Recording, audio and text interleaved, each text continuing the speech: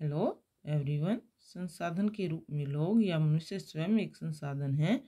ये टॉपिक है आज की इस वीडियो का। तो मनुष्य स्वयं एक संसाधन है।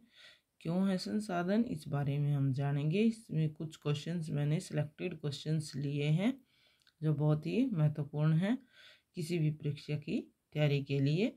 तो मनुष्य स्वयं एक संसाधन है, कैसे जानेंगे? तो पहले ये जान लेते हैं कि संसाधन क्या है। संसाधन वो वस्तुएँ हैं जो हम प्रतिदिन प्रयोग में लाते हैं, जो हमारे लिए मूल्यवान हैं। क्यों है मूल्यवान? क्योंकि उनके बिना हम अपना जीवन नहीं चला सकते। तो संसाधन से रिलेटेड ये वीडियो में हम जानेंगे कि मनुष्य कैसे संसाधन बन गया है, ठीक है? लेकिन इससे पहले अगर मेरी वीडियो आपको अच्छी लगे तो please share and subscribe my channel. तो स्टार्ट करते हैं आज की वीडियो। इसमें पहला क्वेश्चन मैंने यही लिखा है कि संसाधन के रूप में लोग से क्या अर्थ है, क्या तात्पर्य है? तो किसी भी देश में उत्पादन कौशल या क्षमताओं में जो लोग कार्य करते हैं, उनकी कार्य क्षमता या कौशलता ही संसाधन बन जाती है। क्योंकि अगर मनुष्य कुशल और इस योग्यता के साथ साथ अक्षम नहीं है किसी काम के करने में तो संसाधन, जो बाकी संसाधन है, वो व्यर्थ हैं, बेकार है इस धरती पर। ठीक है, जैसे प्रकृति ने हमें बहुत सारी चीज़ें दी हैं। अभी अभी वर्तमान जो फ़िलहाल चल रहा है, जैसे सूर्य ऊर्जा का ही हमने यूज़ करना सीख लिया है, पवन ऊर्जा का तो ये सारे सब चीज़ें कैसे संभव हो पाई हैं, मनुष्य की कौशलता के द्वारा ही, इसलिए मनुष्य स्वयं एक संसाधन है। नेक्स्ट लेते हैं मानव पूंजी निर्माण का क्या अर्थ है कि मानव पूंजी का निर्माण कैसे होता है? मानव संसाधन को, ये क्लियर हो गया है कि मनुष्य एक स्वयं संसाधन है तो इसको और अधिक कैसे योग्य बनाया जा सकता है? शिक्षा और स्वास्थ्य के कारण। और विकसित करना ही मानव पूंजी निर्माण है। नेक्स्ट क्वेश्चन है, जैसे कौन सा संसाधन अन्य सभी संसाधनों से श्रेष्ठ है? अन्य सभी संसाधन, लकड़ी, वन, पेड़, पौधे, जीव, जंतु, इन सबको उपयोग में लाने का काम किसका है? मनुष्य का। तो एक मनुष्य जो है, वो सभी संसाधनों से श्रेष्ठ है। किसके निवेश से भविष्य में ऊँचा प्रतिफल मिलता है? तो किसके निवेश से? मानव संसाधन में निवेश करने से। और कहाँ निवेश करने से? शिक्षा और चिकित्सा में निवेश करने से। नेक्स्ट क्वेश्चन है जैसे क्रियाकलापों को किन तीन प्रमुख क्षेत्रों में बांटा गया है? अर्थव्यवस्था में जो भी हम कार्य करते हैं तो इसको तीन क्षेत्रों में बांटते हैं। तो कौन कौन सी क्रियाएँ करते हैं हम? जैसे कि फ़र्स्ट है प्राथमिक क्रिया द्वितीय क्रिया और तृतीय क्रिया।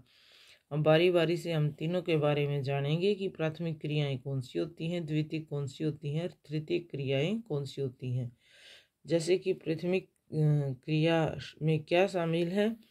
तो प्राथमिक क्रिया में क्या शामिल है? कृषि, वानिकी, पशुपालन मत्स्य पालन मुर्गी पालन व खनन। क्या शामिल है? कृषि करना, पशुओं को पालना, मछलियों को पालना मुर्गी पालन करना व खान खोद के ज़मीन से जैसे लोहा, कोयला ये निकाले जाते हैं तो ये खनन। तो ये सभी किसमें शामिल है? प्राथमिक क्षेत्र में। ये वो क्षेत्र है जहाँ पर जो प्रकृति से मिली हुई चीज़ें हैं, हम उनका यूँ का यूँ यूज़ करते हैं तो प्राथमिक क्षेत्र कहलाता है। अब द्वितीय क्षेत्र में क्या सम्मिलित है?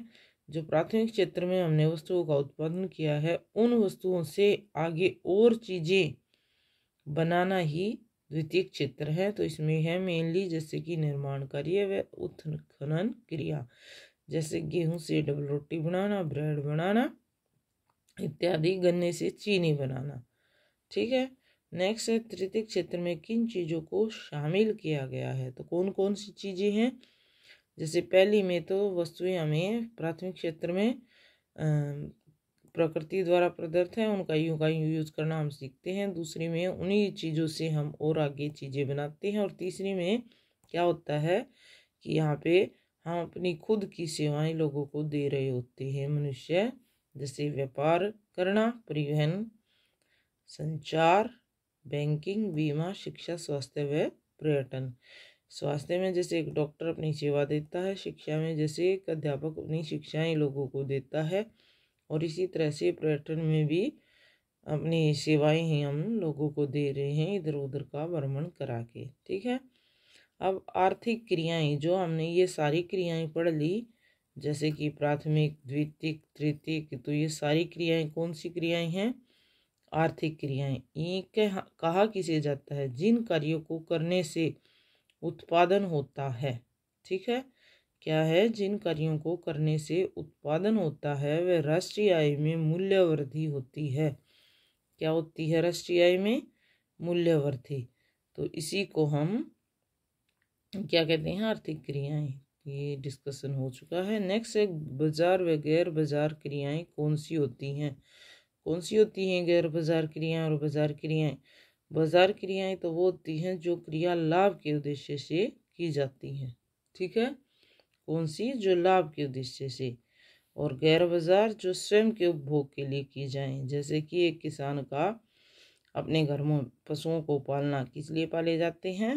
दुग्ध उत्पादन के लिए, अपने घर के लोगों के लिए दूध और घी का उपभोग करने के लिए। ठीक है तो ये हैं गैर बाज़ार क्रियाएँ। इसी तरह से गृहिणी का घर में काम करना भी गैर बाज़ार क्रिया है। जनसंख्या की गुणवत्ता किस पर निर्भर करती है? तो जनसंख्या की गुणवत्ता निर्भर करेगी साक्षरता दर, यानी कि जनसंख्या का पढ़ा लिखा होना, स्वास्थ्य पर उनके अच्छे स्वास्थ्य पर। अगर देश, के लोग स्वस्थ रहेंगे तो देश के विकास में योगदान देंगे। देश के लोगों द्वारा प्राप्त कौशल निर्माण में।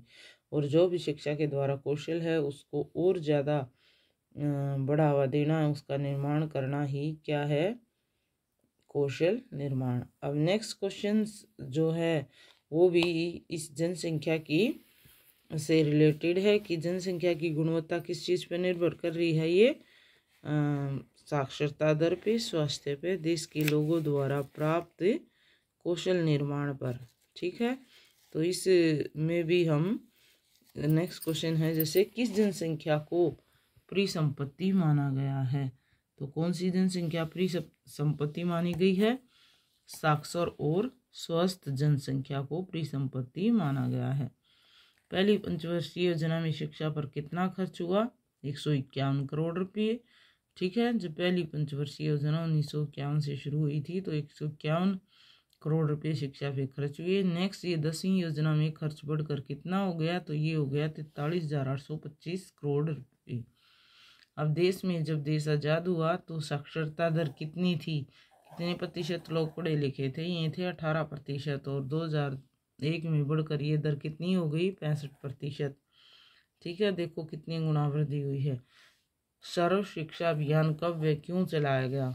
तो ये चलाया गया था 2010 में।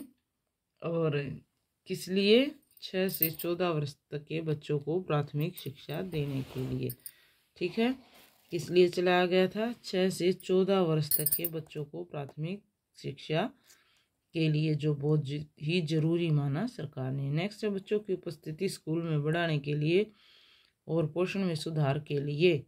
क्या शुरू किए? बच्चों का पोषण होता रहे अच्छी तरह से तो ये शुरू की गई थी दोपहर के भोजन की योजना। क्या शुरू की गई? दोपहर के भोजन की योजना। 2010 में साक्षरता दर कितनी रही है? तो 2011 के आंकड़े बताते हैं कि साक्षरता दर चौहत्तर पॉइंट चार प्रतिशत रही है। नेक्स्ट है किसी भी फर्म का मुख्य उद्देश्य क्या होता है? किसी भी फर्म, कोई भी फर्म होती है तो उसका उद्देश्य क्या होता है? अधिक से अधिक लाभ कमाना। ठीक है? नेक्स्ट क्वेश्चन है, किसी भी देश की जनसंख्या में कितनी, किसकी प्राथमिकता होनी चाहिए? किस चीज़ को हमें प्रेफरेंस देनी चाहिए या प्राथमिकता देनी चाहिए? तो ये होनी चाहिए किस चीज़ की? स्वास्थ्य सेवाओं की, परिवार कल्याण की और पौष्टिक सेवा की। 2000 में जीवन प्रत्याशा कितनी थी? कि जीवन प्रत्याशा का मतलब है नेक्स्ट क्वेश्चन मैंने इसी से लिया है। चौसठ वर्ष थी और इसका अर्थ है कि जीवन की अनुमानित आयु, ठीक है? क्या है जीवन की अनुमानित आयु? जन्म दर व मृत्यु दर का क्या अर्थ है? जन्म दर तो वो दर है जिस कि एक वर्ष में एक हज़ार व्यक्तियों के पीछे जन्म लेने वाले शिशुओं की संख्या, ठीक है? और मृत्यु दर क्या है? एक हज़ार लोगों के पीछे एक वर्ष में मरने वालों की संख्या मृत्यु दर कहलाती है। नेक्स्ट है, जैसे किन राज्यों में सबसे ज़्यादा मेडिकल कॉलेज और किसमें सबसे कम है? तो सबसे ज़्यादा जो हैं, चार राज्य हैं, जैसे कर्नाटक, आंध्र प्रदेश, तमिलनाडु या महाराष्ट्र में में अकेले इक्यासी मेडिकल कॉलेज है। जबकि बिहार व उत्तर प्रदेश में ये संख्या बहुत ही कम है। बेरोजगारी का अर्थ क्या है? बेरोजगारी का अर्थ है, जब मौजूद मजदूरी दर पर कार्य करने वाले लोगों को रोज़गार ना मिले। मतलब जो कि एक दिन के लिए एक व्यक्ति को जैसे पाँच सौ या छः सौ रुपये मिल रहे हैं तो उस दर पर काम करने के लिए लोगों को कोई काम ना मिले, कोई रोज़गार ना मिले तो इसको ही बेरोज़गारी कहते हैं। नेक्स्ट है, जैसे श्रमजीवी जनसंख्या में कौन सा वर्ग आता है तो इस जनसंख्या में आता है पंद्रह से उनसठ वर्ष वाला वर्ग। जिसको श्रमजीवी कहा गया है। पंद्रह से उनसठ, वन से फिफ्टीन तक जैसे आगे बच्चे तो वो काम करने योग्य नहीं होते, वो माँ बाप पे डिपेंड होते हैं। इसी तरह से उनसठ से बाद वाला वर्ग है वृद्ध वर्ग, जिसमें जो स्वयं भी इस योग्य नहीं होते कि काम कर सके तो जनसंख्या का सबसे श्रमजीवी वर्ग इसी को कहा जाता है। तो ये थे नाइन्थ क्लास के एन से रिलेटेड क्वेश्चंस जो बहुत ही इंपॉर्टेंट है। If you like my video please share and subscribe my channel thanks for watching the video